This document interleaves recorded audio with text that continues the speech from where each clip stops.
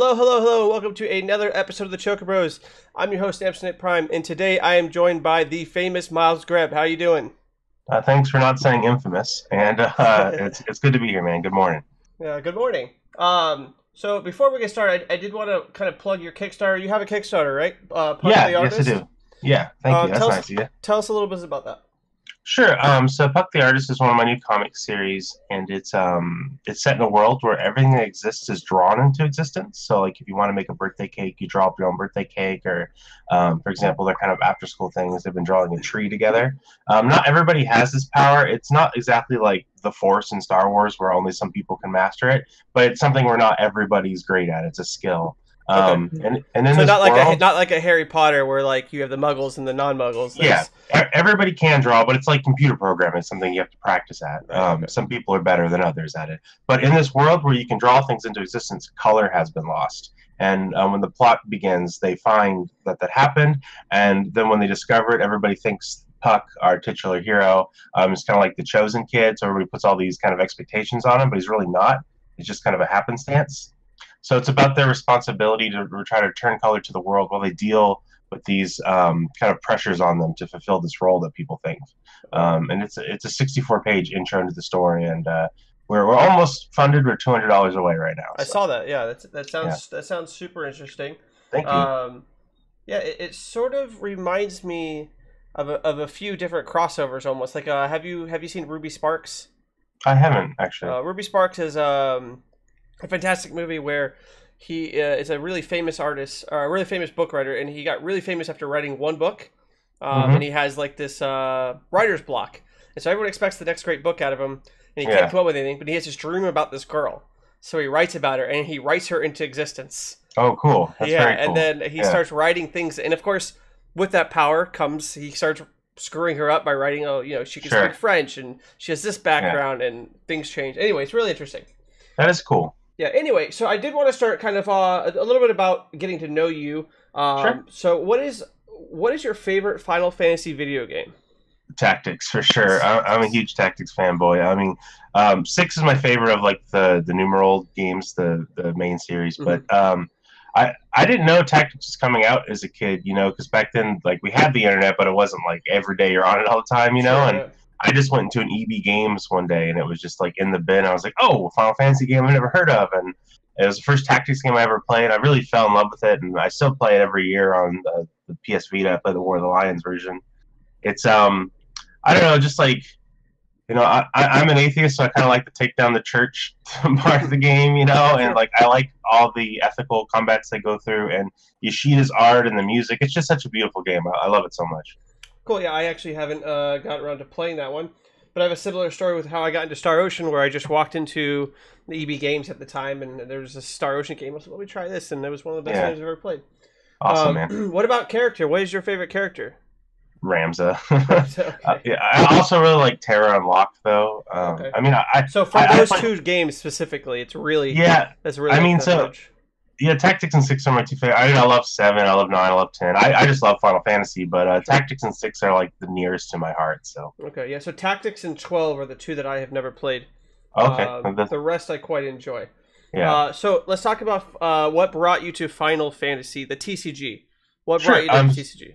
Yeah, so I tried to play chapters back in the day. I bought um, the little white boxes that have lightware on them with the Amano art and everything, and uh, I tried to play with my friends. We printed out like a translation on the PDF on paper, but Sure. it wasn't like very fun because every time we needed a card, we had to look through the paper, and it was kind of rough. So we kind of gave up. And then when I heard it was coming to America, we were very excited. So um, you know, I got some of the Wave One, Opus One boxes. I pre-ordered them from some of the shops here in Seattle, and it was really rough getting boxes. But uh, I tried, you know, I had to buy some scalp packs and eBay and stuff, and it was like twenty five dollars to get starter boxes on eBay because there just wasn't a lot of supply. But um, yeah, we were we were playing since Opus One, and um, I was looking forward to it, and uh, it was hard getting into it because of supply. But uh, I'm really Sure. happy we did. So, So how many people did you have that you were trying to play chapters with before Opus? How many people were playing chapters? um, my good buddy Andrew and Mitchell. Okay, Um, so- and I would, would try to play just us three. Okay, So- and then what about when Opus, the Opus, uh, let's say one came out? How many people would did you have at your local uh, scene or beginning Um, there, the scene? there was uh, about eight of us originally. Okay, so that's, uh, that's a good start though. Yeah, we were lucky. This uh, guy in Bentley who was was wonderful in the community in the beginning, but unfortunately he's not playing anymore because of his work schedule. He actually was able to get a case to himself, so he had a lot of um, commons and rares that he could give to some new people, including us especially because the supply was a problem in the beginning. Sure. So he helped um, foster the game up in Seattle a lot in the beginning, and uh, we really appreciated that. So we had six in the beginning, and um, things really started taking off once Opus Three came out. Um, yeah. I started going to uh, Geeky Villain, which is our shop up here in Everett, and that scene's really been growing a lot. And we've been able to uh, get a good amount of players there. And then I, I created the um, Final Fantasy TCG Seattle Facebook group, and that's really helped us kind of um, get players communicating when they're going to be at each tournament each week, and I think it's really helped Seattle grow. Yeah, uh, we have something in Tampa that's very similar. I created a page, just FFTCG Tampa. Yeah. Uh, we post um, all the time on there. Really, we're we're posting like, uh, for example, we had someone show up last week and they didn't have a title deck. We're like, "What are you doing, sure. man?" Like, we all post yeah. bring title deck. Don't you check the page? And they're like, "Oh crap, I didn't read." But for the most part, you know, if we if we post, "Hey, we're gonna play title today," everyone brings a title deck. Yeah. Um, it is pretty cool to be able to have that community. We started uh, with a similar amount of people um, without myself. I wasn't playing. I didn't start playing until right at the beginning of Opus 3. And so okay, card, cool. card issues weren't a problem for me because uh, when I decided I wanted to play, I found out uh, Opus 2 was out and Opus 3 was about to come out. So I started, I was playing a lot of Magic. I was still trying yeah. to play Magic competitively. But every time I'd win at our local shop, I would just use that money to buy Final Fantasy packs. Sure. And my wife uh, wasn't here yet. She was still in Idaho. So I was collecting all the packs and I wasn't opening them. I, the whole idea mm-hmm. is like when she gets here, we'll open all these packs and we'll learn to play. Um, and Opus three came out and I still hadn't played, but I had all these packs. Yeah. And then I started buying Opus three. Um, and then we opened them up. I actually top aided a tournament with a starter deck and a FuSoya that oh. I added. Um, there you go, man. And, yeah, and then I was like, you know, what? I really like this game, so I I got online and bought a, a playset of Opus one and two. Um, and so at that time, people, it's you know, some people were starting to move out of the game. Uh, it was one of the real like flux of income and outcome. Sure. Um, yeah. And so it was really easy for me to pick up playsets of the game to get involved. Uh, so what about what about FFTCG right now are some of the strong points for you? What what about the game specifically are your strongest sure. points? So obviously I'm a big Final Fantasy fanboy, so that's a thing for me. But um, as I, have been playing card games since 1996, you know, Star Wars CCG, Magic. I played the Lord of the Rings card game, Versus, etc. So I play a lot of card games, and what I've noticed about Final Fantasy is that the meta is actually super diverse and I don't think there are any decks that like are, are domineering to the format or unhealthy. And so I think it's a really fun game if you are good at brewing or like to play kind of rogue decks because there's so much room in there to design and play your decks, especially because of the um, the liquidness of your resources. Because you you know obviously you can discard cards for CP. Right. It's not like a static resource build like Magic, and so I think that that makes the game really creative for designers and players, and it's just being able like if you look at any top eight, you normally see at least five decks that are distinctly different. And like I think at the top 16 at nationals, there's like at least 14 decks that were distinctly different. I mean, you have kind of you know mainstay cards that will be in any deck running ice or running water, but you still have you know five or six cards that are different. And I, I think that that is a lion's share of why I think the game's so good, and um, that's what keeps me continuing to play, other than being a Final Fantasy fanboy. So. Yeah, that is that's interesting. Um, I do notice that you haven't been very vocal about uh, the mono ice discussion. Um, so when you say that's very healthy, you know, I'm not saying that you're right or wrong, but there are a ton of people who are very vocal that you know mono ice is not fun to play against. Um, I sit in the camp of that it is not fun to play against, and you can beat it. Um, sure. But it's it's it's frustrating to. I don't mind playing against it. Um, you know, I've played in the bottomless pit days of Magic. um, you know, I played against Necker opponents in the survival decks. You know, I played against Flash and Vintage um, mm-hmm. and Star Wars CCG. I don't know if anyone gets this reference, but you know, I played against the operative decks that were way more impressive. The the mono discard deck, you know, it kind of does its thing, and then like they either run out of steam or they don't, and you like you know the cards that you're going to draw that are good against them. And so I think it's just about being careful. You know, you have really good things like Shadow Lord that can help, or I was playing um, Lightning Wind um, you know, like my Cipher card's pretty effective against them. Um, sure. So, I, or Zidane, they can't kill in a lot of ways. Or if you're playing blue, Garnet can't be Mateus, which really helps with blocking. Um, I think there's, I think that deck is not unhealthy for the environment. Um, it's not dominant. It's never been over 20% of any like field success wise, and it's pretty easy to play. So I think that there's kind of a selection bias there, where um, any good or novice player can do well with the deck because of its ease of play, and so it's going to be overrepresented on lists. Okay. So I don't really think that it's like a domineering deck. I don't think it's a problem. I, I understand that some people don't have fun playing it, and I think that can be a concern, but I think it's healthy for there to be kind of a, a bugaboo deck anyway, a deck that people don't like to see. Because sure. I think that it, that in itself inspires its own kind of deck building and, and community. Like, you know, we got to take this deck down together. Um, but I think that there is a good amount of options to it, and I find the meta to be very healthy myself. Okay, that, that's all uh, fair points. Um, so let's move into some examples. Um, you've been vocal about the job system. Yeah. so that's no doubt. So it's, I'm it's gonna, kind of a meme. I'm gonna get the joke out of the way because everyone's gonna ask, Miles, what is your job? Uh, well, my favorite job is Dragoon, which people are probably gonna say "lol Dragoon to me. No, no, no. but, what uh, is, what is your job in uh, the real world? Probably Final Fantasy, I guess. Bard. Is, No, no, no, no. Like, for example, you. I'm a writer. You're a writer. There you go. Yeah. All right. So Okay. you are defined by the writer class. Okay. All right. I suppose. Uh, what what what specifically bothers you about the job types that Square Enix is doing right now? Um. So one of the things is, of course, you know, Final Fantasy is, is a series designed by tropes, right?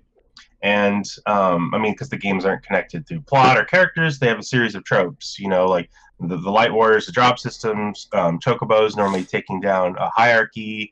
You know, bonds of friendship, or like this blending of futurism and fantasy. Those are kind of like all the Final Fantasy tropes. And so the job system, of course, is one of those. And this game implements a job system, but it only pseudo uses that trope um, you know, we have from Final Fantasy One, perfected more in Final Fantasy Five. We can see it in um, Tactics or Eleven, more pronounced. You know, the the monk, black mage, white mage, red mage, warrior, etc. job system, and um, it's in the game, but it's not So- implemented. So just under, so just understand you right. Like so, Cloud, if we're talking about seven, would be like warrior. Yeah, Tifa be would be Tifa would be monk. Yes. Aerith would be white mage. Is Yes. that sort of what we're talking about? So like Barret, like what would Barret be? I don't even. So, so, so in some universes, um, things are not a hundred percent pronounced. Sure. Um, but Ba- Barret's like a ranger. He has ranger Okay. type abilities. Okay. He has charge and shoot kind of stuff, right? Okay. Um, or like Nanaki or Red Thirteen is like a blue mage. You know, you get him, he starts with enemy skill. That's like the thing he gets. Um, so, so some games the jobs are not like as pronounced as others, but like in nine, I think it would be hard to argue that Zidane's not a thief. You know, Garnet starts as the white mage. She's wearing the white and red tunic for crying out loud, and then she turns into a summoner in the story later. But Mhm. in, in the game, just as a game mechanics thing, because I think some people think I'm just being pedantic about the Final Fantasy tropes. I think that there's a loss of interactivity with the job system, and I think there's a loss of intuitiveness with the job system. Um, to to the second point, intuitiveness. Um, you know, we try to play a lot of limited events to encourage new players to show up, Yeah. and um, a lot of times, you know, they'll have played that card, the Crystal Chronicles card that lets you search for a warrior, right? And they'll go grab the five drop warrior, but he's not a warrior; he's a standard unit because they went with that standard unit path of calling a lot of generic character standard units. Or there's like um, they have to on cards like Matt um, write monk or job type monk. And so I think that that's like a cluttered a cluttered way to text the cards that you have to reference two things. I think that it would have been more beneficial if the cards had two job types, like Magic eventually figured out, because I don't think that this is um like a negative aspect to Final Fantasy's design overall, because Magic it took them like nine or ten years to learn this. But once like Onslaught came out, they learned that cards should probably have a more unified system of typing. Um, So, for example, when Onslaught, like where Beast came out, right?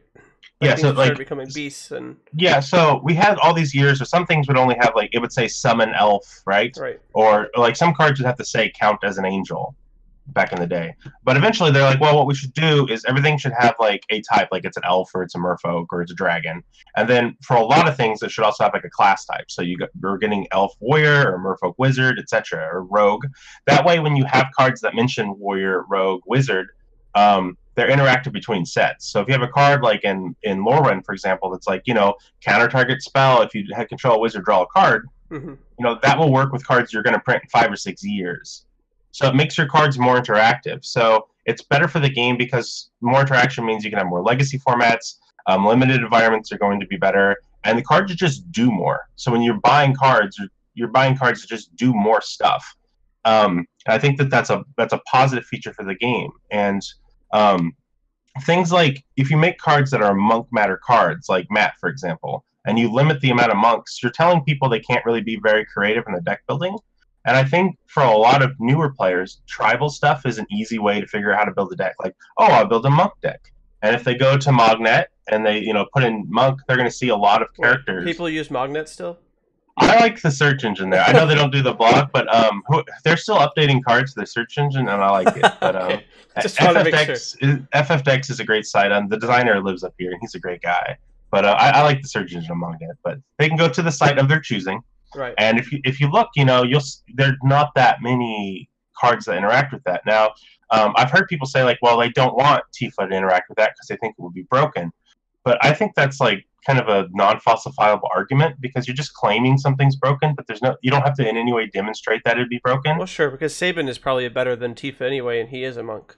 Yeah, right. And I mean, like, if Genesis was a monk, would that make Matt a problem card? Like, I don't think so. Like, no, people aren't going. It'd make it'd make Matt much better though.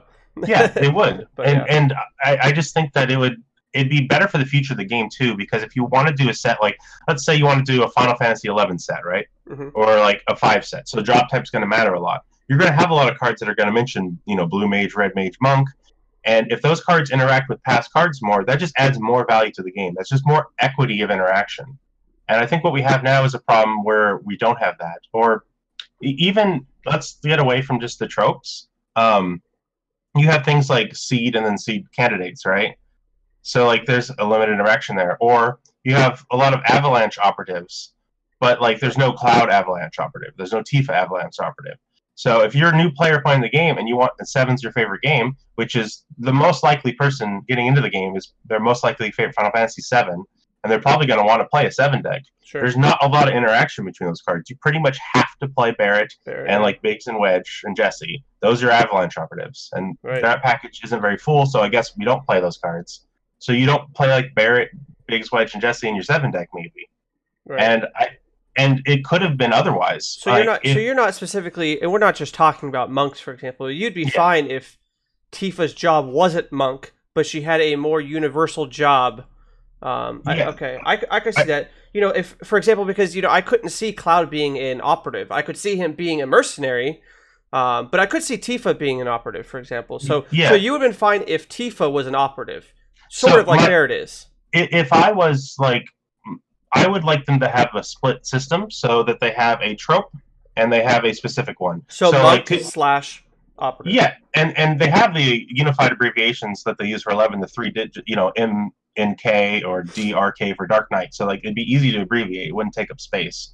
And if space is a concern, Aymeric, his name is like the seventh general, the sixth, ninth on Tuesday. It's long as shit. So right, yeah, yeah. like it's not a problem. So like if she was an avalanche operative slash monk, or if she was I don't know bartender slash monk, you know, like just just um if they had a, a relevant thing that matters for their title series stuff, and then that I think it would make the cards more like I said, interactive. I think it'd just be more fun. So moving um, moving into the future, mm-hmm. would you like to see Square Enix implement this, or would you like to see them retroactively implement it? So would so, Tifa become a monk?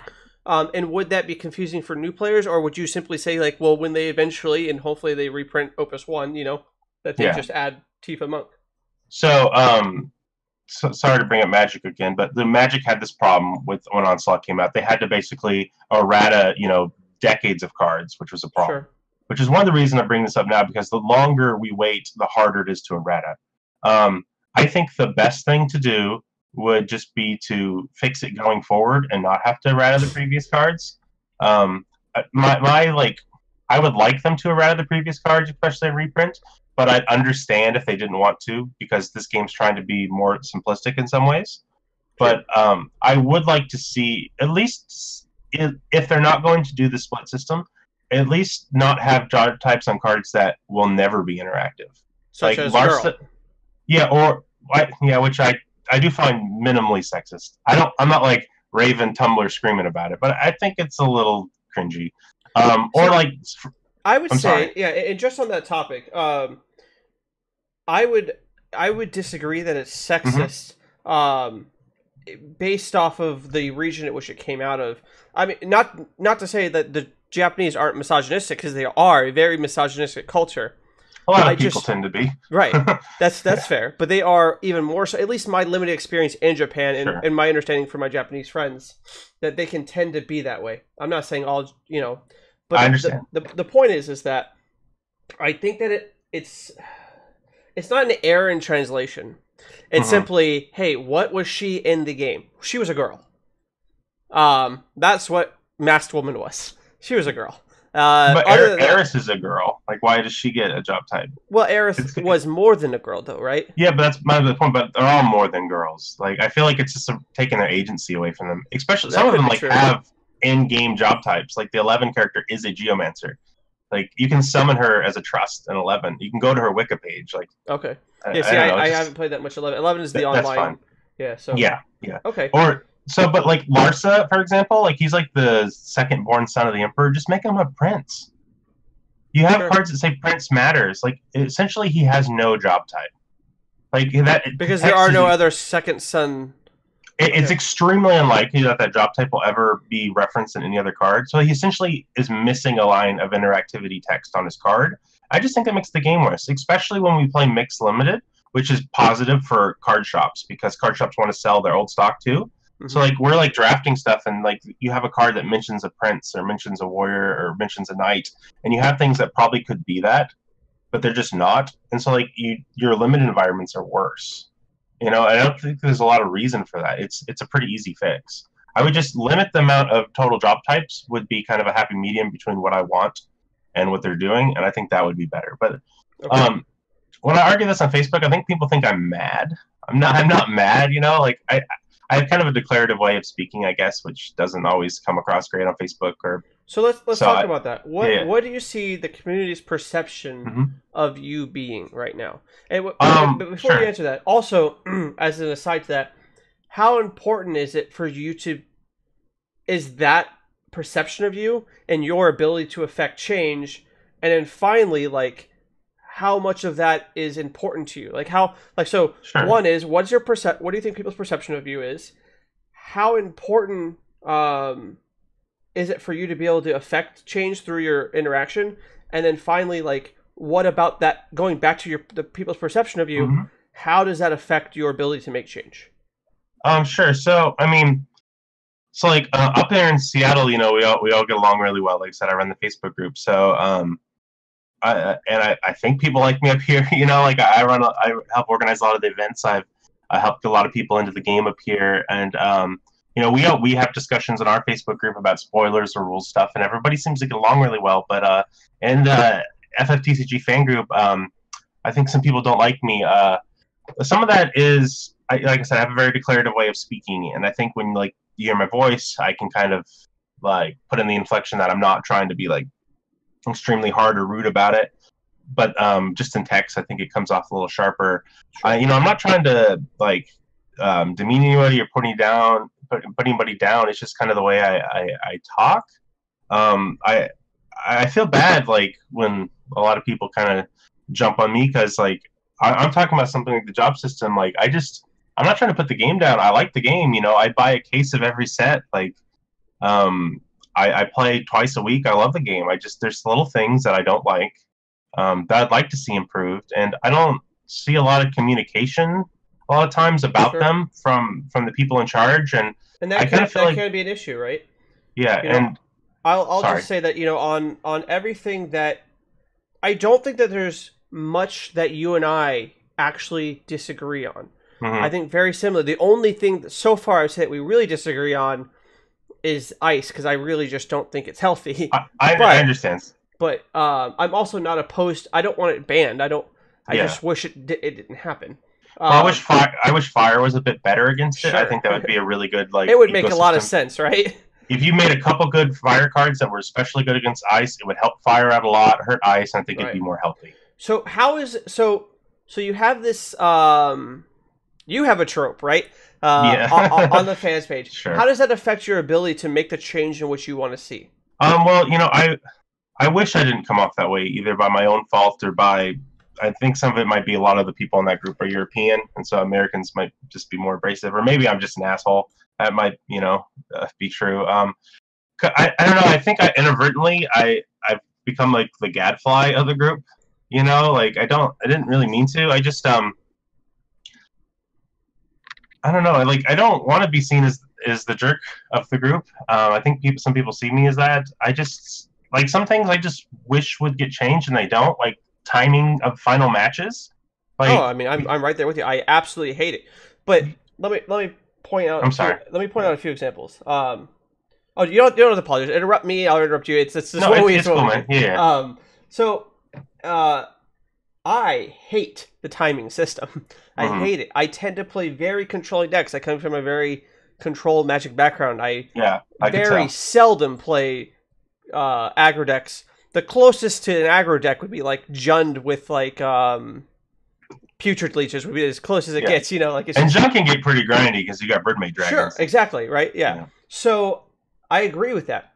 But I think that there is a better approach that you could have.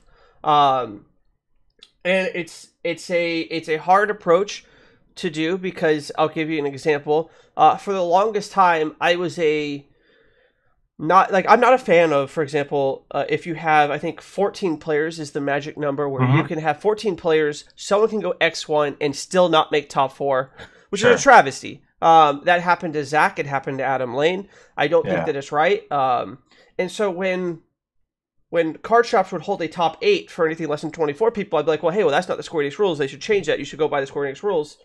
And, and I'll admit that I'm starting to get away from that. I'm starting to be like, well, you know what? If you're going to break the rules, break the rules because – I think going X one and not getting a chance is not a fair way to you know sure. conclude a, a, top cut. And if you go by the Magic system, uh, the way that the the Wizards runs its events, I don't think that there's any situation where you can be X one and miss the top cut. Uh, yeah, which is a really great well, way. Part of that is because this game has a data problem. Like just in terms of numbers, when you play best of one, you get less data. Sure. Um, because you don't have two ones and two O's. Sure. You just have one O's. So there's less differentiation between players that way, which I think is a problem. Well, yeah. I mean, and, so, so, I used to not like that it was best of one.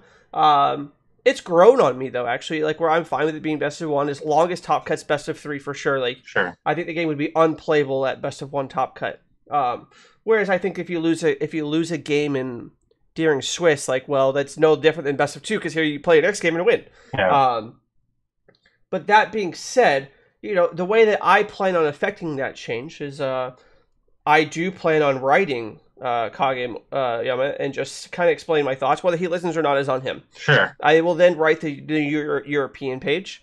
And even though I talk to RB quite often, and I know he's the one who runs the North American page, I'm also going to write them. Furthermore, I've already told my team that I won't play in any Crystal Cups with a less than 90 minute top cut. I don't like yeah. 90 minutes, but 90 minutes is more than fair, at least as a compromise. Sure. Um, and, you know, that's just one way I think that you could affect things is by saying, hey, listen, I'll show up, I'll judge. Um, I'd rather play, but I'm not going to play in an event where I'm punished for playing Fusoya or I'm punished for playing these cards which they gave us to play with. You know, if I want to play Gigas and Gao and set up these long these yeah, long grindy I, battles. Fusoya is a good example. I think it's um I think it's ridiculous that damage counts against you. I mean, it's a resource, and players should be allowed to use their in-game resources as they see fit until they are dead. Like, I, and I agree one hundred percent with that. Um, well, to uh, to me, I just feel like these are kind of like adolescent growing pains that like card games have dealt with, and I feel like they have figured out those answers a long time ago. And and it frustrates me that Final Fantasy in the year you know 2018 still has problems that other games solved a long time ago. I think they know the answer. sure, so they just won't implement them. It's not. It's when you say adolescent, it's not literally like a child because the child is going to make the same mistakes as the parent, no matter what. We're mm-hmm. talking. We're talking. You know, like science driven, where we're standing on the the shoulders of giants, so we know in Magic that the top, we, we, like a, a finals going to time is unacceptable. Yeah, um, I mean, so like, like if, if Final Fantasy wasn't, you know, if this was new, there wasn't all these other card games, just twenty year history, I, it wouldn't be as annoying to me. But like they they can see that those things have been dealt with, the problems have happened, and they've solved them and other things, and they don't implement them. And I also feel like there is a um, there's a pushback against the community for any amount of criticism. I think a lot of people see criticism as negative towards the game and not a constructive part of the game. But I it, think. To, some people are just one one sec. Sorry. Yeah, I, I, think to some people, maybe because like for a while there, people weren't sure if the game was growing and stuff, and they were worried about it. There's kind of this like sensitivity, or they just don't want any criticism because they're afraid it might hurt the game. But I think it's an it's important that there is criticism so that the game can be perfected and grow. I'm so sorry. Is there a way that we could uh, affect that change in a more positive way? Um, I'll give you an example. So one of the mm-hmm. things that you that I think that you fail in, um, though you have the best, uh, like you're you're you're trying your best. You have, um, but so at, during the nationals cost, for example, uh, you mentioned that you shared the link to the fans page, right, in the group mm-hmm. in the Reddit page. So you're doing your best to spread the game, as many people are. But then you say, but then they they check this and they and they see like for example because there was an extended round of breaks, right? In fact, it was a look. Being at nationals, I'm glad that they took those super long breaks, but only for the reasons they took them, and which sure. they wanted to make sure that they weren't screwed up. As a yeah, as a so uh, at nationals they like were they, it's supposed to be nationals. They were using the wrong system. Yeah they were using the best so of three system at the beginning of the game. Like how can that happen? So that's what i'm saying uh, well i don't know if that's the system they're using. They were they were not using the square enix system yeah. is my, I, two of my good buddies were there so I, right so yeah. uh, right but even then rumors were different around what was going yeah, on okay fair enough. there. Um, so we don't know the exact route or I will just say this: at least most players don't know the exact root of mm-hmm. what was going on. Uh, players that do are very happy that they took the time to fix the issue. But from sure. a, from a player perspective, from a spectator perspective, it's un it's it's not okay to have the setup that we had because, for example, all it would take to fix a solution, right, is to point the camera at the trivia going on, and the crowd could participate. Yeah, the definitely. spectators, and I and I agree with that. But I guess my issue is is is if you pointed all those people to the stream, right? But then they get on the stream and they see. So whether you like it or not, you're a voice um, that people follow. Even if you think that people don't like you, that's not necessarily true for the YouTubers who seem to follow your lead when you say something negative and it starts going. So when they join the when they join the stream, they see you being negative and then other people also being negative. negative, and I think that that is a cause for concern, if that makes sense. And I think you have no, the best I, intentions. I, I, see what you're saying, and I think that that's a good argument. Um, what, what I would say is, I mean, we've had this system now where there is a loading screen with the Final Fantasy song playing and a static image for over a year. Yeah. Right. And so, like, I, I, I, every time there's a major event, I try to share it on Reddit and a lot of Final Fantasy forums because I want people to get into the game. And they click it, and at least 50% of the time, maybe it's 40, like it's on that loading screen. Yeah, I and, I, I, wouldn't know the math, but I, I would even yeah. guess that it's higher than that. I would guess that it might here's be. Here's the thing: it needs to stop. Sometimes. Like, um, you know, people have mentioned it before I ever mentioned it. You know, like I mentioned it nicely last year, and it hasn't stopped, and it needs to stop. And I don't know how to make it stop. Like, uh, it's not that the guys who do the play-by-play do a bad job; they're just not on camera all the time. And so, I like mean, the break zone, for example. Yeah, yeah. I'm not criticizing them. Like they do fine when they're doing the play-by-play. You know, I those guys seem like great guys. So, but, but those guys are be, mm-hmm. those guys are the people behind the break zone. Sure. You know, Johnny Tran, all, all of them. They are the people responsible behind the stream. So I'm only asking why criticize. Yes, so Square Enix hired them, but why not sure. criticize them? So what? Why not? Well, so, if, if in fact um, they are the ones who make it so there is that that giant pause and that they won't fix it, then it the criticism lies on them. That then it is their fault. I, I don't know, you know, what the deal is or who they talk to or the producer decides. So I'm not going to say sure. that. sure. But I mean that that downtime needs to stop. If you watch, you know, like um, Magic World Streamer, even Star Wars CCG, which is you know kind of a dead game. If you watch the stream for its worlds, when there's downtime, they don't just cut to a screen. People are talking. They'll they show cards up there. That's a great time to do spoilers. Like at Worlds, we had Richard came on and showed the deck box and stuff. That yeah. was cool. People were excited to see it. You know. Uh, there's some like do a deck check, you know, like you had an awesome deck, right? I, I think you had the most interesting deck in the entire event. And um, it, while if you like win or lost a game quickly and it's the next round, hey everybody, let's have an interview with Sam tonight. You know, like right. Um, and I think that people are concerned that um, about spoiling tech, you know, and no one knew my deck, but the truth is, sure. is that no one's going to watch that stream live. They're also playing. Yeah. So they really, do it in Worlds and Magic, which a lot more money is on the line, and it's not right. a problem. No, I could I could agree with that. Um, I just so everything you're saying, I, I, I agree with. I just I'm I'm worried that we we're not affecting the change that we want to see because, I, I because think you're right we, that I we both love the game and we want to yeah. see it grow. We just need to figure out the best way to make that happen. Does that make sense? Yeah. So I think I, I wish I could be a bit more um, eloquent in my criticism. I think some of it is because you know I'm I'm doing a lot of other stuff. So like I'm normally also working on my comic. That's fair. You're, so you're, you're you're multitasking. And so you know I'll see a thing I'll be like God damn it fix that and that's just like I tap that real quick on Facebook and then I'll, go back to doing what I'm doing, you know. So you, it's like I'll give you an example of this. Um, mm-hmm. I actually have timestamps so we can actually talk about this. Around four hours and 49 minutes in the stream, you talk about how uh, sleeves, um, you can't believe that full art sleeves are still appropriate. Um, I love full art sleeves, but I tend to agree. I don't think that they yeah. are appropriate for competitive play. However, you don't provide a reason um, and, and probably because you're busy doing other things. And, and if my guess is the reason, the same reason as mine, is those sleeves could be easily marked without because there's so Extremely much easy. attention to detail that if you don't know what you're looking for, uh, you're not going to see a difference in the sleeves. Even as a spectator on camera, it'd be very hard to spot uh, yep. with that type of thing, the, the type of detail. So I agree. And, and, and if you saw me, I, I just had black sleeves with the regular gold because I, I don't like character sleeves for big events like that any longer. I mean, um, you know, if, if, you're playing them for fun at your local event, oh, no I do. Oh, not, yeah. Not, yeah, I, I, use them. Don't I'm not dissing anybody, but it's weird at nationals they would allow them. I think that that's right. odd. So I think that there's a, an importance, there's a level of responsibility from someone like yourself who's vocal and people listen to, whether it's good or bad. You have an audience, um, and you have a platform. So there's some sort of yes, I know that I'm working on my project, but if I'm going to say something about the sleeves, I need to explain why. Because you, no, you bring up a legitimate concern that people should be worried about. Yeah. I, character sleeves should not be on. Uh, you know, they're they're more worried. So if you like, you can't play on an unofficial playmat. I think that's much less concern to me. Yeah, because you can't mark an unofficial playmat, but it doesn't affect the game. You know, that's a rule. Like I, I just worried about like the game's integrity.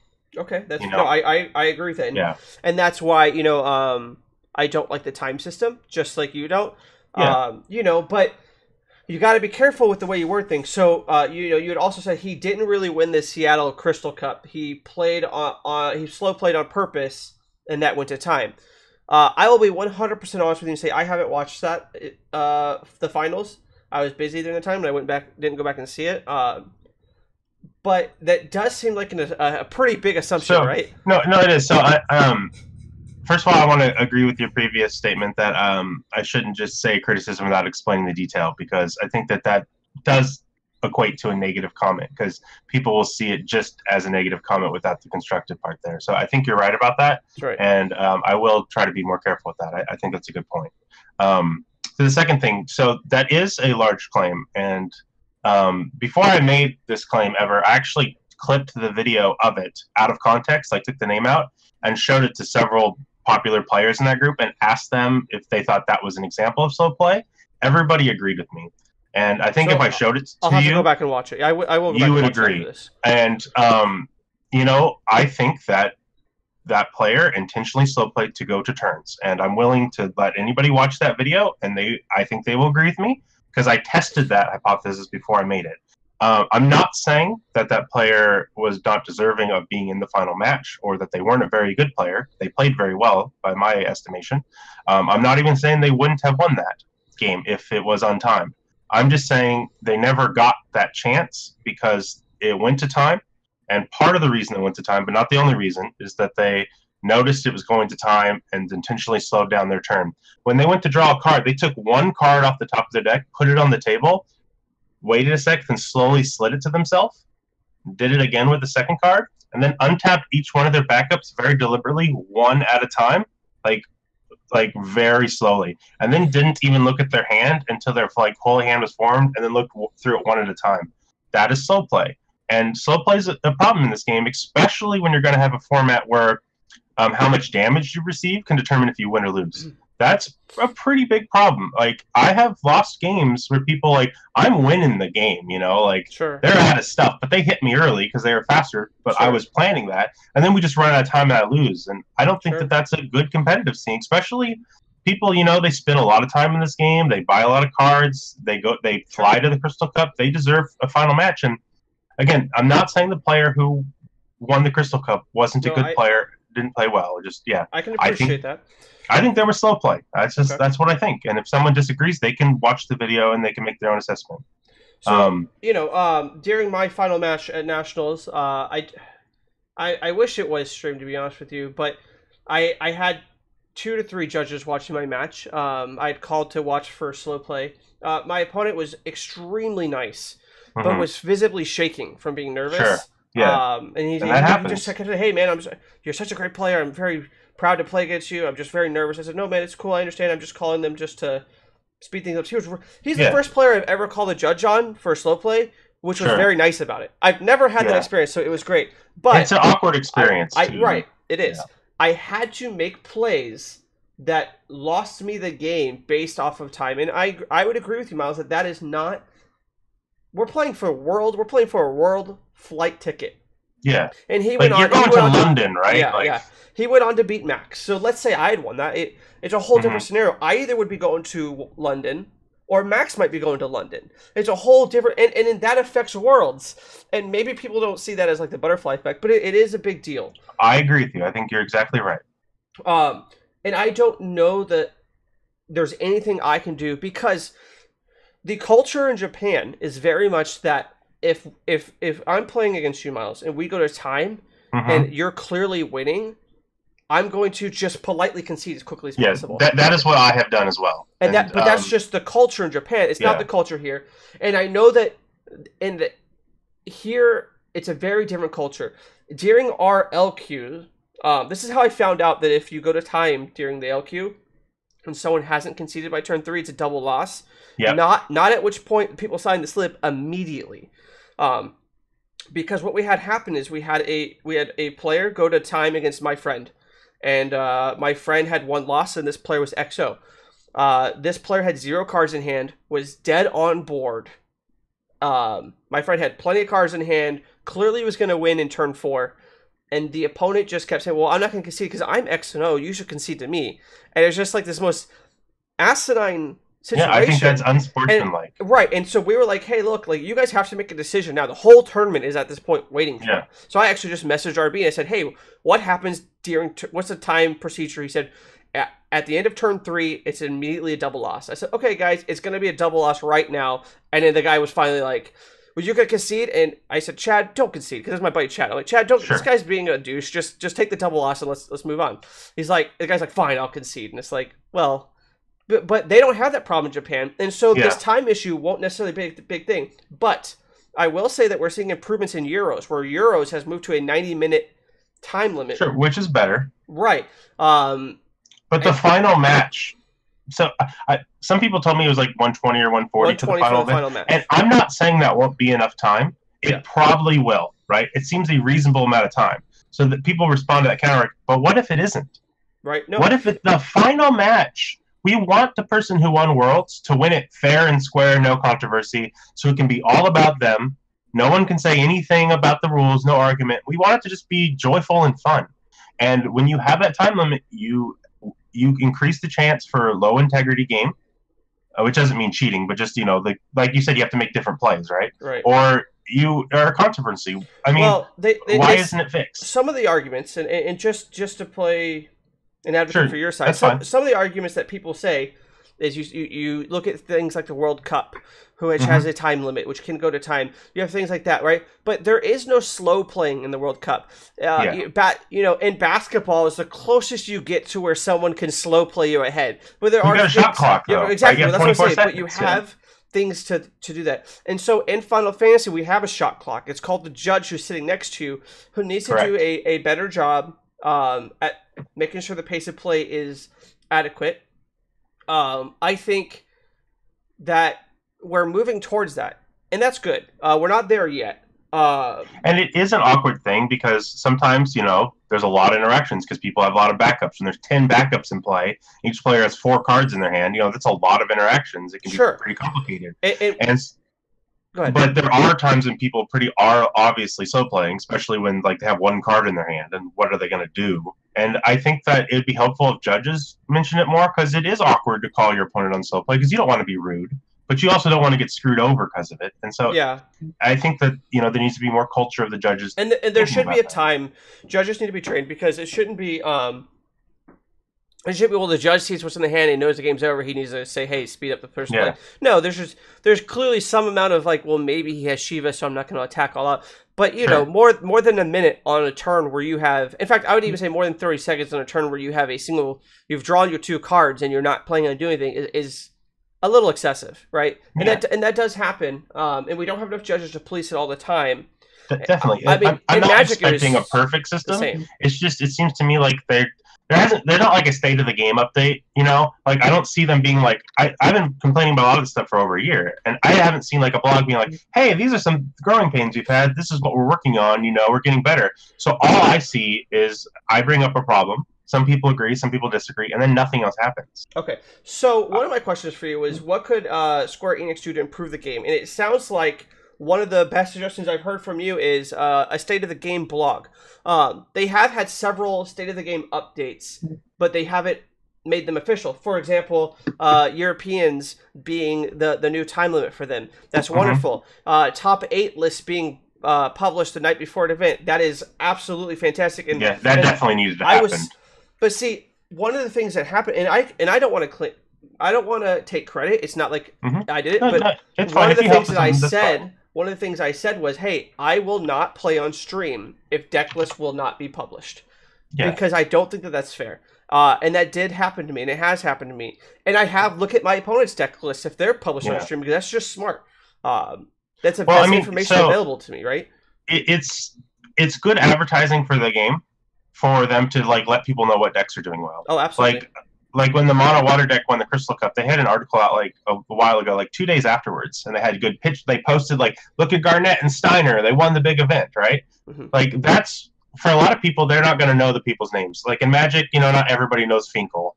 You know, like all, all of us do, but but like a lot of casual players don't. But they know, oh my gosh, you know, Exalted Angel won that tournament, or Right. Ravager won. That's awesome. So they, they like- don't know Jordan D, but they know. But but but Soya going undefeated on day one is pretty cool, right? Yeah, and so they should say that. They'd be like, "Whoa, look at this hero from the set, you know, that went undefeated." They need to make the cards when they win part of the storyline more, and I don't think they do a great job of that. And it it's easy for them to do because they're characters. So if if Zidane does something, if they see Zidane winning, you know, coming out and winning the Crystal Cup, like all the nine fans are going to be happy, So and it just make it, the game has that character base built in, and I think they need to appeal to it more. a good example of this would have been um, I know RB really wanted Istola to be like the centerpiece of Yeah. Kansas City.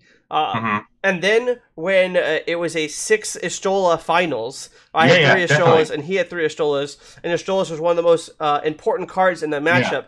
So you're saying we need to highlight that. Like it's cool Definitely. that Sam won, but Istola was the showcase Yeah. of this tournament, and they do that in Magic, which is really great. I, Yeah. I agree with that. They, they should have been like Estola won her own cup, you know, and then they can say like who won and like have a little picture, but like make it a, a Estola, like that, hooray! Like, and he mentioned that on the stream, I believe, which was good. That was good Right. commentary from Richard.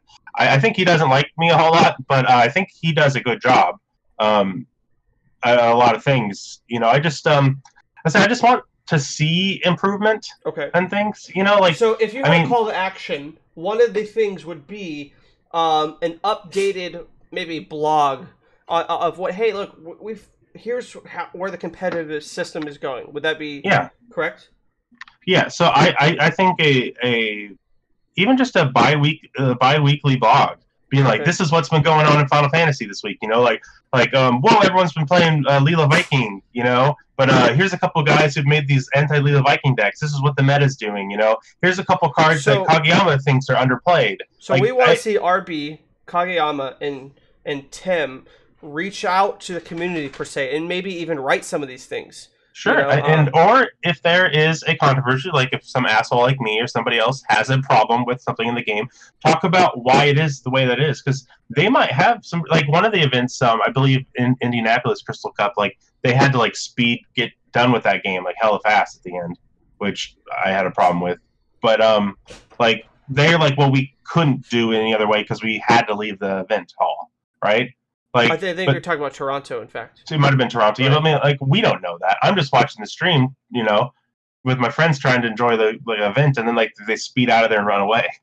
And I'm like, if they told us that, like I, I know that they've said it in messages, how I know it. But if there's like, hey, this is what happened, kind of blog, I think it would just be nicer to know.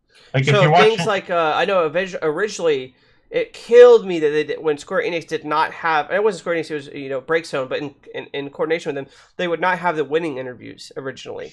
And it Yeah, just I killed me. And, and so yeah. when they started doing winning interviews I think it completely revolutionized the stream. Uh, sure, or even for the I think it was the German Nationals this year they had like the trivia that came up on the screen during the break time.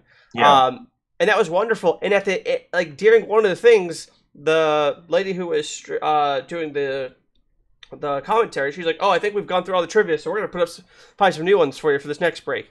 So while that's not great, it's at least better than uh, the same song on repeat. I would agree with that. yeah. um, I, I, and the point is like, so when that doesn't change, then that's Crystal Cup, and it doesn't change again.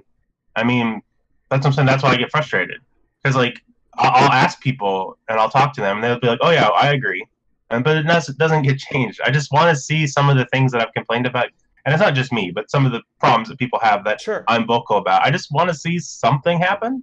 I mean, so like, see, here's some of the things they have done that are great. Um, their their price support and like what they're doing for the seals, like pre-releases, is amazing. Like, I think that the the deck box we're gonna get's a big deal. I know a lot of people are gonna come just to get the deck box. I think giving us custom sleeves was a really great thing. I think adding the dice helps the shops. I think that's all really great. Um, I think that for a while we were wondering like why the box art was just the Final Fantasy like the PlayStation era characters, you know, and like now they have like this amazing art they've commissioned of Bartz for the next set. Noctis is finally coming. Yeah, and and and how do they do Noctis? We're like, where the hell's Noctis, you bastards? And then they're like, here's Noctis. He's a full art fucking promo legendary buy box, and that's awesome. That's like the best way they could have introduced Noctis. That's amazing. I think that's like perfect form. And so like they do a lot that I really like. So like my I like I like eighty percent think this game is great and like have twenty percent problems. And I don't want people to think that But, I, like, have but a you're- negative aspect But you think people's perception of you is probably the the reverse, right? That that twenty percent of this game is wonderful, but you dislike eighty percent. Does that yeah, fair? so like yeah, like in, like in our Final Fantasy Seattle group, you know, we don't have a lot of negative conversations because like we're just all talking to each other and enjoying the game. But I feel like in the fan group, it's a chance to talk to the greater community uh, about the problems. And um, like I said, I don't always do it right, but I also think sometimes people have been kind of cruel to me. sure. I did write a what I thought was a nicely worded thing explaining like what what I think monks are, why I think the job type is, like I've explained right, to you yeah. and pretty much everybody just made fun of me. Like they didn't even engage with my argument, or they'll say that like, and then I explain that martial artist and monk are synonymous, and then like they just like refuse to like acknowledge that even as argument. They didn't even argue against it. Like like so, black belt, martial artist, and monk are the same thing in Final Fantasy. It's a synonymous trope, and like people just like started memeing me, and it's just like okay, I get that. You know, some people think I'm an asshole, but like, if you're gonna tell me my argument's wrong, you at least engage with it instead of just make So- fun of me. So part of that um, is, of course, the what precedes you, right? Um, sure, the arguments I, what precedes you. I so get that. right. Um, so going forward, what what's the next step? You know, because you obviously have a passion for this, and you want to affect the game because you enjoy the game, and you it seems like you enjoy the community also. Although sometimes, sometimes I think that memeing of you is fair, and sometimes I, I agree with you that it's not fair. But moving forward, how do we how do you change that? How do Well, how I do think you i- increase? I think it would be a lot better if I actually just made um, more constructive content, like if I wrote a blog or did a YouTube video talking about it. Um, could so I with that. was, yeah, I think that'd be better. Um, you know, because I'm supposed to be a writer, right? so I should. But the thing, it's just hard because I, you know, I do a lot of science, like blogging and stuff too, and so I like takes a lot of my time doing that research, and so it's it's kind of hard to write a Final Fantasy blog. I mean, like I want to. Um, Can't be I- I- can't be any longer than a, a thirty thread argument. well, yeah, I know. A lot of times, sometimes it's because it's on my fucking phone because I'm out and about, right? So I'm just fair. like tweeting on my phone, like "fuck you, bastard." She's a monk, you know. So it's not like I'm sitting down. Um, yeah, you know, I, I, probably should do that instead of arguing on Facebook. I think that that would present my arguments better, and um, people wouldn't assume I'm just like shit posting. right. um, so I, I, was on um, live from Midgar a while ago, which is the podcast we're starting up here in Seattle at Geeky Villain. Cool. Um, trying to talk about it. So I'm going to try to be on that more, so people can hear that. Uh, who hosts that podcast? Um, there isn't a, technically a host right now. I guess I hosted it last time, but uh, okay. uh, so it's just uh, some of the players in Seattle. Um, Andrew and Steve, who are both at Nationals from Seattle, were on it, and as was I. Um, and it's at Geeky Villain, which is our biggest shop up here in Seattle. Okay. So. If someone wants to find that podcast, uh, is it on YouTube or is it on where do we find it? Um, so it's on um, what's the orange one streaming cloud thing? I know what you're talking know. about because that's what we start. With so what we started SoundCloud, with. I SoundCloud. Think it's called. Yeah, yeah, so it, it's on there, and he posts on YouTube as well. Just called Live from Midgar, okay, uh, the cool. Geeky Villain podcast. So cool, cool. So moving, but forward... I, I agree with you. I I do need to put more effort into um, kind of formalizing my arguments and so that they're seen as arguments and not seen as just criticism right. which is what i think some people see them as because that's not how i mean them right i think you gave a really good example when i mentioned the card sleeves um, because to me i'm just like oh fix that problem already and so i say it right right but people who don't realize the thing are like why is this guy bitching and well, so it's not a constructive comment so i think some, you're right about that there are some other arguments too and i'll just give you an example uh, mm-hmm. Uh, one of my one of my close friends was um, when I was preparing for this argument uh, not for this argument. What are you not arguing? I, when I was preparing sure. for this podcast, I said, "Hey guys, if you had to legitimately ask Miles some questions, mm-hmm. what would they be?" And one of the things was like, "Well, why does he think that his friends deserve to be on the on stream when they weren't doing well at at at, at nationals?" I said, "Well." Can you show me timestamps that show me this? Because I would like to present solid proof. Yeah. And so they showed me uh, a timestamp, which I agree was an issue, where they said, uh, or you had said, also, of course, it's more LA dudes. They are so biased. Dude, Josh Gardner uh, and or sorry, and, and, you said bias dude. That was when Josh Gardner and myself were playing. Um, and then later, you had said someone had asked about how your friends were doing. You had said X two, and I said, I told uh, my buddy, hey, well, that doesn't mean that he's asking for his friends to be on stream. They're not yeah, related. No. But yeah. because you didn't further explain the LA thing, it translated to, well, I'm upset that my friends aren't stream. Why is it another oh. LA guy on stream? But yeah, I mean, the thing so, was that I, Josh Gardner is not an LA guy. He's actually Vegas. Um, Although he does play for Metapotion, I will agree. That's what I'm saying. It's that group. That that I mean. But we have it, a- Andy, Andy Carmona also, who's from Miami guy, also plays for Metapotion. So here's the thing. Yeah. I, I could be wrong. I could be wrong about this, but it seems to me Metapotion people are on stream way more than other people. That's I don't have the data to that, but that seems very true to me, and I think other people have acknowledged that's true. And I think that's a little cliquish. And I'm not in that clique, and I know that they don't like me, so of course people are going to just you know thumb their nose at me for that.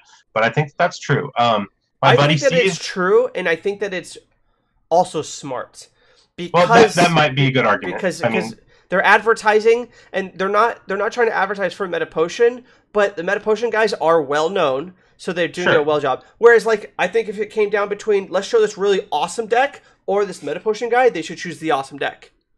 Yeah, if, I mean, like, given the same record. And also, there's a selection bias because a lot of the Metapotion guys are very good and very accomplished. Right, so of course, they're going to well, be on stream a lot, and and that's reasonable. And I don't have anything against any of those guys, and they should be on stream a good amount. But it seems like it's almost always them, like a predominant amount of time, and it's just a little like okay, like if you're not in that clique, you're not part of the community.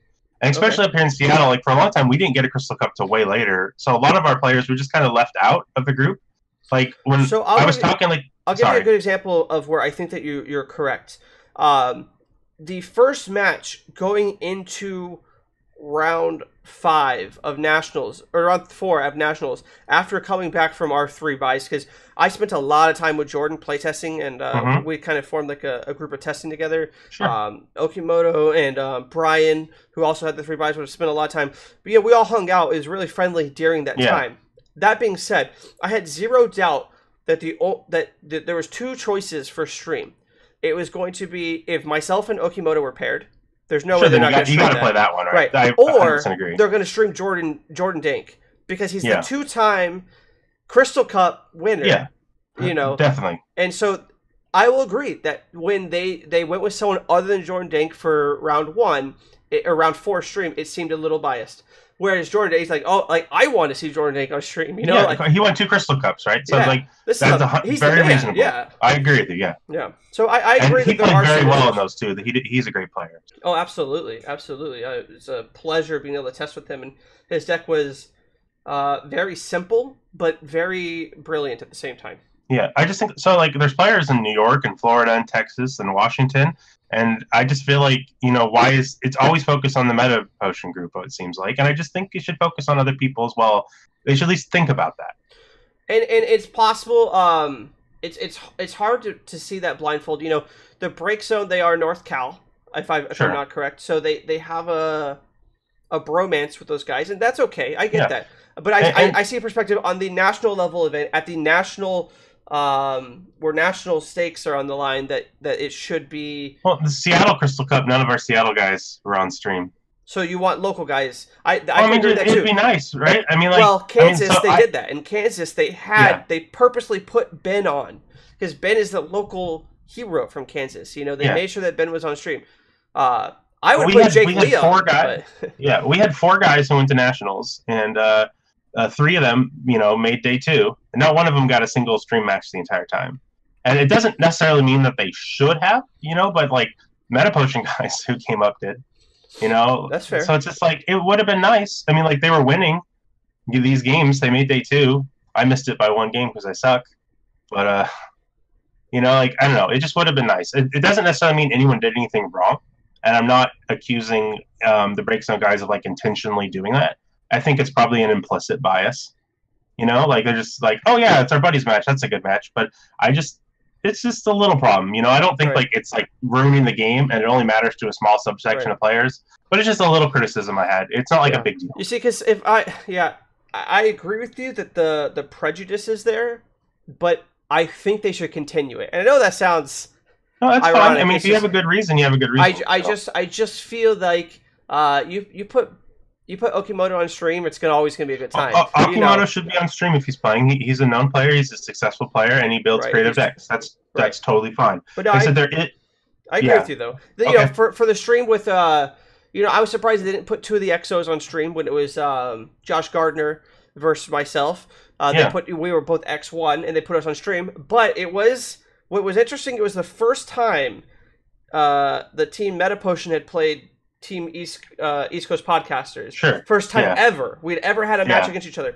Additionally, there's only two sponsorships that I know of as far as card sponsors. So it was the first time a, a Cards of Ivalice player had played against a um, a TCG Titans player. Sure. And so and, I, and that's fine. I, I, think that that might have had something to do with it. And that, yeah, I agree. You know, that's. I mean, there, there are good reasons why those biases exist, like very compelling reasons. And so, if there aren't a lot of matches, I don't have a problem with that but I do think it's a bit too much. As fair, well. that's fair. I so, so, see, I feel like like when I write that criticism, it seems more mean, right? Like so when I explain it to you here, like you can hear that I'm not like frothing about it, right? But it's kind of hard to type, oh, these guys are on stream a bit too much, and make it not seem mean. Sure, if you say these so. guys are on stream a bit too much, it almost comes across exactly a little harsher yeah. than, than if you say. But that's not that's not really what I'm meaning, you know. Like, yeah. Okay. So, is there anything besides uh, that you want to say before we wrap up? Anything that you that we didn't cover that uh, you were hoping no, to cover? No, we're good. I just um, I really appreciate you having me on the show. You know, and like I said, uh, I think you're a great player, and I really liked your deck that you played. Thank you. I appreciate at, that. At Nationals, yeah. So I, I, was talking to my buddies like what they should play, and I was like, a lot of people are, are going to play Vikings, but a lot of people are going to play decks that are going to beat Vikings. So you should try to beat decks that beat right. them. And that, that like, my goal was to beat Mono Ice and to beat Vikings. That's all I wanted. Yeah, I was very successful yeah. at doing that. Yeah, I mean, you were playing on level three, man, and, and yeah. I think you did great. It's, it's a shame, you, you know, the time thing happened to you. Yeah. Um, but you know, but but people were impressed with your deck, you know, so that that that's its own kind of reward. And, and I'll, and I'll just say this before we close up. I I did, mm-hmm. you know, I told RB, I said, you know, I am sad, but I have faith. I looked at right, I looked at right eyes. I said, I have faith that this won't be an issue next year. I have to yeah. believe, and I do. I have faith. I've I've seen so much growth from Square Enix. I've seen so much growth sure. towards this game that I have faith that we're if we keep pushing for the positive, if we keep growing yeah. the game as much as possible, it will grow in a and, positive and I, way. And I believe in you, man. And I, I, believe that you know there's an optimistic outlook for this game. I mean, I, am a pretty busy guy, and I don't really get a lot of time to play games like to anymore. This is the one that I choose to play. Right, and that know? says so, a lot, right? That says a yeah, whole and, lot. And um, so I just want it to be as best as it can be. Absolutely. And you know, like I, I, am sorry to people that I've uh, been rude to, and I'm sorry that I've not put enough effort into kind of explaining all my criticisms. I should do that more. You know, like uh, I went to school for being a journalist for a while, So like I kind of have that, you know, look for the problems and report on them kind of thing in my brain. Yep. But I don't think I put enough effort into explaining them. And I think that you made that point, and I think it's a good point, and I'm sorry about that. But uh, I do appreciate everybody that you know at least takes the time to listen to what I have to say, and I'm very appreciative of you having me on. Yep. I, I think so, it was nice of you to do. So for those you. that are listening, my goal uh, for this cast was to give a Miles the the the human side of Miles because sometimes it's hard to remember that there is a person on the other side of that keyboard. We yeah. are arguing with a person who is part of the fans page because they are a fan of the game. They're a fan um, of the OP. They're they're a fan of the franchise. Um, and, and I just wanted to give you a chance to clear uh, your perspectives. And, and I had a feeling particularly if we start off with the positives, that we could sure. see that hey, look, you are passionate about the game and you just want to see it grow like everybody else does. Yeah. Uh, and sometimes we forget that. And sometimes I feel like we, including myself, uh, in the past specifically, so I apologize for that, can rally behind ganging up on you. Sure. And, and we can do that as almost a brotherhood in this. We're standing by and we're almost white knighting the game. And I agree with you that white knighting the game is not appropriate, uh, that there are issues but I, but then I, I, I, disagree with the way you're handling them, and I gotta say I appreciate your um, you owning up to that and you owning up to making a, a change for that in the future. Um, I look forward to your podcast for sure. Thank um, you. Let me know when that hits up. We'll definitely advertise it. Okay, thanks, man. Well, I appreciate that. Yep, Miles. Thank you for joining the cast. Um, it's been an honor. Yeah, thanks, man. Yep. Uh, it was really nice of you to have me on. And before we close off, I do want to shout out, even though this is a special podcast, I do want to shout out to my sponsor, Cards of Ivalice because um, I got to keep uh, making that money. but but thanks a lot, James. I, I appreciate everything you do for us. He's um, a good guy. He gave me money on Final Fantasy Eleven. So no, he, he is a really nice guy. Um, yeah. So uh, I I've been Samsonite Prime. Uh, Miles Greb. Uh, and we'll we'll catch you guys later. Thanks. Cheers.